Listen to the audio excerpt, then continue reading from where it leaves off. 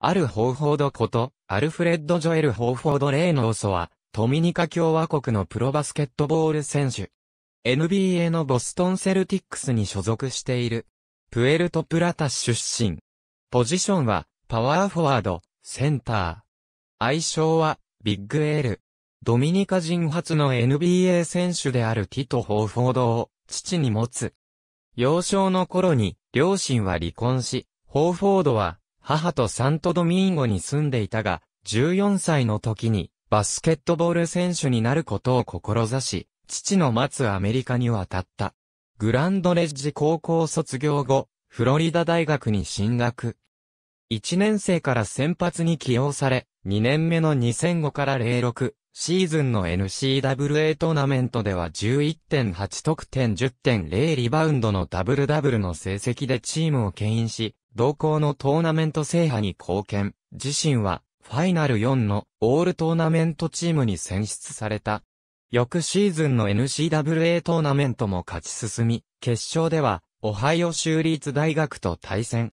ホーフォードは、同校のスタープレイヤーグレッグ・オデンとマッチアップ、18得点12、リバウンドを上げて、チームのトーナメント連覇に貢献し、自身もファイナル4オールトーナメントチームに選ばれた。シーズン終了後、2007年の NBA ドラフトにアーリーエントリーした。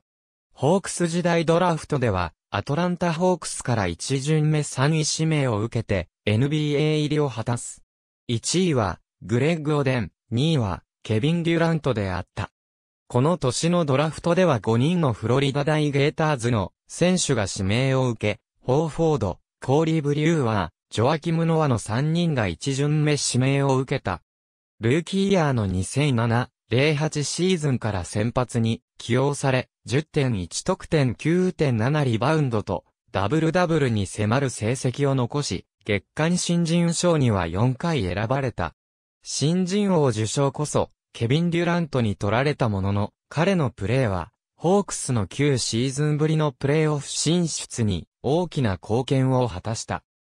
2010年、2011年には NBA オールスターゲームのリザーブに選ばれた2012年1月11日、左肩に軽傷を負ったが、後に大胸筋の断裂であることが判明し、残りのシーズンを全休することになり、復帰は、プレイオフファースト、ラウンドの第4戦となった。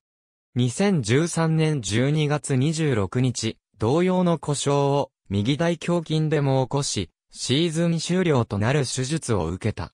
2015年1月13日、フィラデルフィアセブンティシクサーズ戦で20得点、10リバウンド、10アシストの自身初めてとなるトリプルダブルを記録した。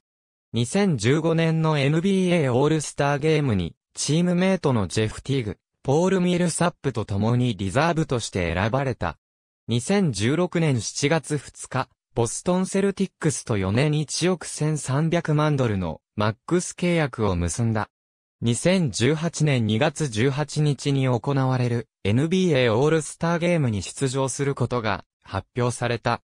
2018から2019シーズンオフにプレイヤーオプションを破棄して FA となった。2019年7月1日にフィラデルフィアセブンティシクサーズと4年1億900万ドルのマックス契約を結んだ。2020年11月19日に、ダニー・グリーンらとのトレードで、オクラホマシティサンダーへ移籍した。2021年6月18日に、ケンバ、ウォーカー、ドラフト指名権とのトレードで、モーゼス・ブラウンと共に、かつて所属したセルティックスへ復帰した。非常に広いシュートレンジを誇るキー F。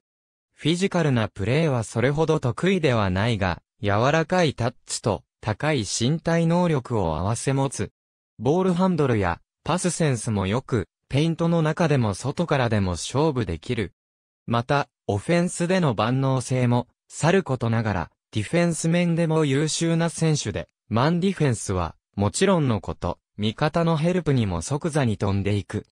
爽やかなルックスのオールスター出場選手でありながら、まるでベテランのブルワーカーのごとく懸命にプレーする。所属チームの事情により本来の PF ではなく C を長年プレーさせられているにもかかわらず、毎年安定した成績を残し、リーグでも有数のビッグマンに成長した。ありがとうございます。